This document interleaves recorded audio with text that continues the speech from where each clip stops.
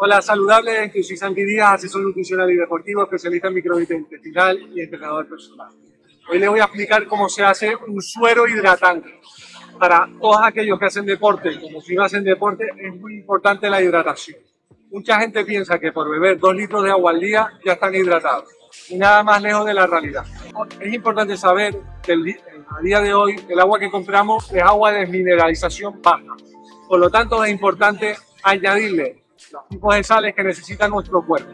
Nuestro cuerpo funciona gracias al, sodio que tenemos en sangre. Por lo tanto, si lo eliminamos a través de dos litros de agua al día, vamos a bajar todos los electrolitos que tenemos en sangre y vamos a desmineralizar. Hay mucha gente que suele ser hipotensa, tiene bajada de tensión y es porque están deshidratándose o la piel la nota mucho más seca a pesar de que beben mucha agua al día. ¿Cómo haremos ese suelo hidratante? Pues es importante coger siempre una botella de cristal.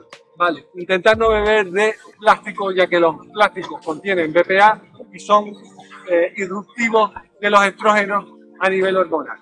Es importante siempre que bebamos de botella de cristal y ahí añadimos el agua que tengamos, pues si la añadimos de osmosis inversa o simplemente de la garrafa de agua que tengamos en casa, lo ponemos a nivel con un embudo, ¿vale? Y a partir de ahí metemos un cuarto de sal del Himalaya, ¿vale?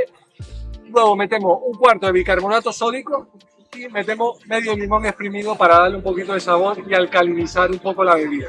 Esto es un suero hidratante, como si fuera un acuario o un Gatorade, pero sin azúcares añadidos.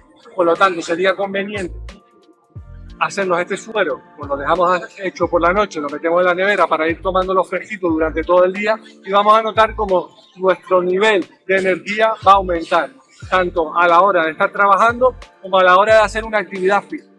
Vamos a notar un cambio espectacular. En tan solo 5 o 6 días vamos a notar un gran cambio. Al principio la bebida puede ser un poco eh, desagradable porque no estamos acostumbrados a nuestras papilas gustativas, pero a medida que van pasando los días nos vamos acostumbrando.